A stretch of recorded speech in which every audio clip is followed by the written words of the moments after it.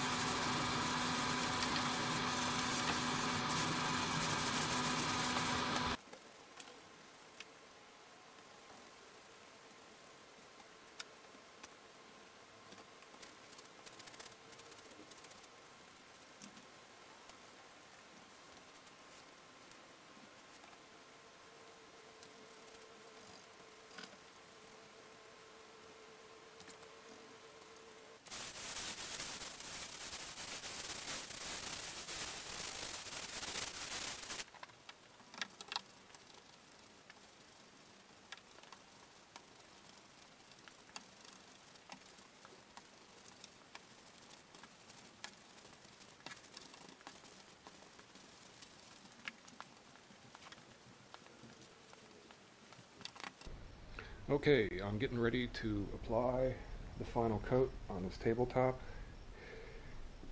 So I have three coats on here right now, and people are always asking me what kind of products I use to get my professional finishing results. So let me go through it real quick.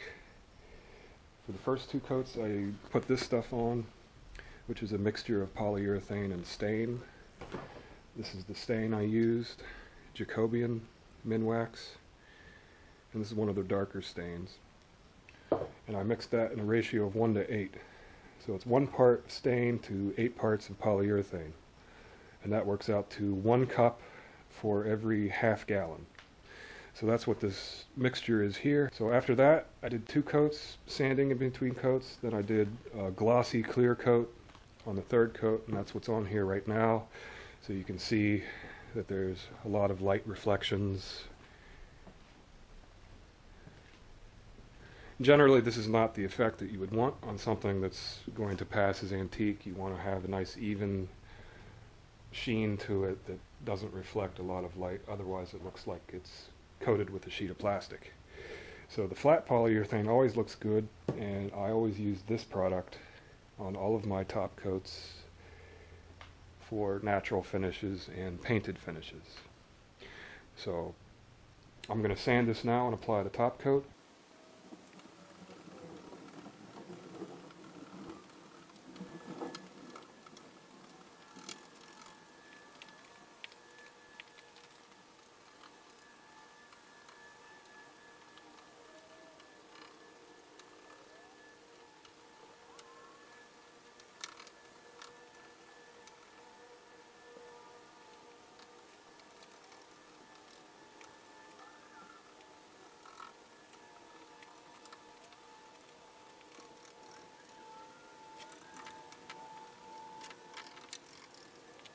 Okay, this has been drying for about an hour, hour and a half. You can see where it's dry, it starts to flash over and the gloss goes away.